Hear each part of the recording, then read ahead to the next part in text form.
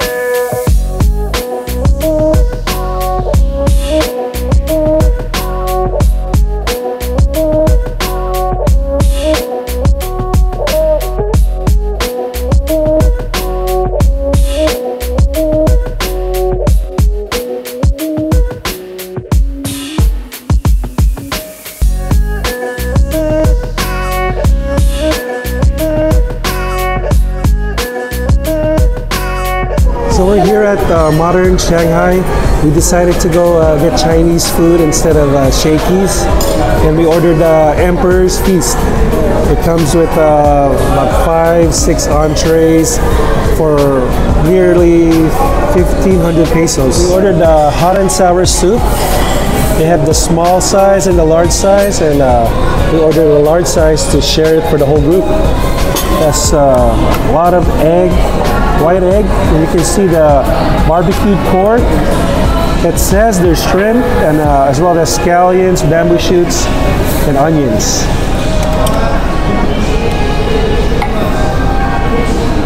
Let's try out the soup.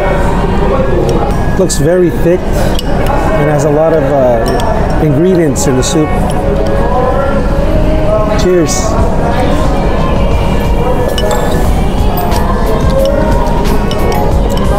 has a very spicy and uh, sour flavor.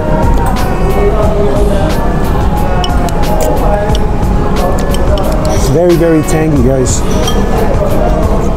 And I like how they put a lot of meat in here, pork and shrimp. This might be one of the spiciest hot and sour soups I've had. We're gonna try out their uh, xiao long bao. It comes into four or six pieces. We ordered six pieces. Just came right out of the kitchen. It Has a decent size. They gave us this uh, soy sauce with some ginger.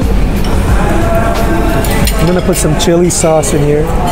The chili sauce is really orangey and has a rich oil as well.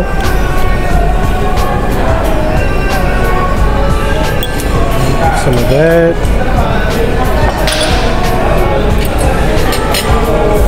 Give that a quick stir. There we go.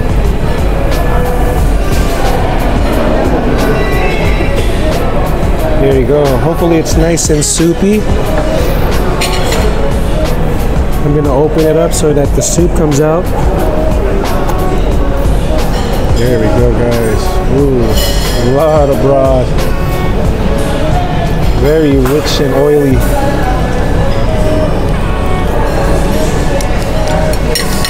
Oh, that is a very porky flavor. Give it some sauce as well. Oh, very sour. Their soy sauce is really sour. I'm just gonna eat it without the sauce. Mmm. That one is very tasty. The outside texture is not uh, very doughy, very nice and light. And I love the meat, it's very, very flavorful. Mm. That one I can eat probably 10 or 15 of those at one sitting. This is the Yang Chow fried rice. Comes with, uh, you know, scrambled eggs, a ton of scallions on top. Before I eat this, I'm gonna go grab some other items as well. This is the chow mein noodles, and you can see there's some uh, pak choy as well as uh, barbecued pork. This one looks very saucy, and the noodles are very thick as well. And man, just by the looks of it, it looks really good already. This is another common dish in the Philippines. Actually, common vegetable. Uh, this is called uh, kangkong. And you can see that there's uh, fried garlic as well as some uh, minced pork meat.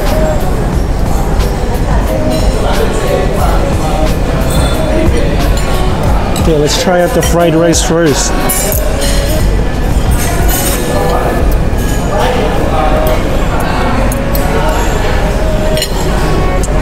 This version of fried rice, I, I've been seeing in the Philippines a lot. Yang Chow. I, I don't really see that often in the States. It's very eggy. You can taste a lot of uh, the MSG flavor here.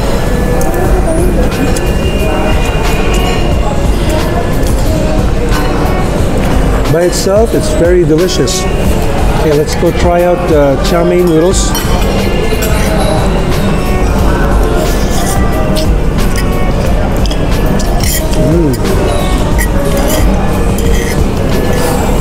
That one almost tastes like a chow fun noodle. The noodles are lightly sweet. Has a good soy sauce flavor. I love the texture of the noodles. Has a nice uh, bite to it. And this one is the barbecue pork.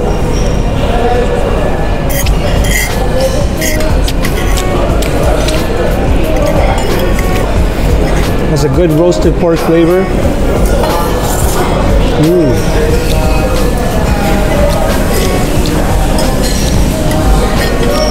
Besides the xiao long bao, the chow mein noodles are my next favorite item on this restaurant. I need to get some veggies in. I'll try the kangkong.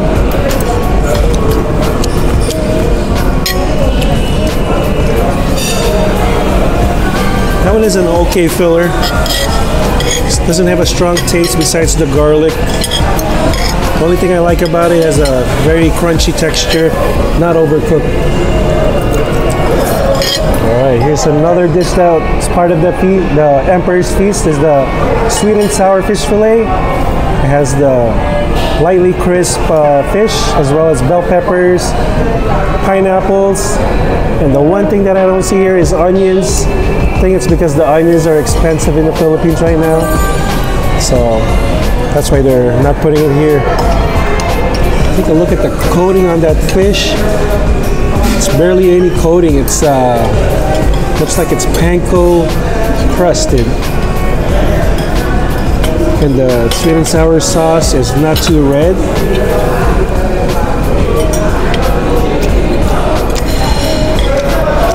Mm. Some type of solefish or whitefish.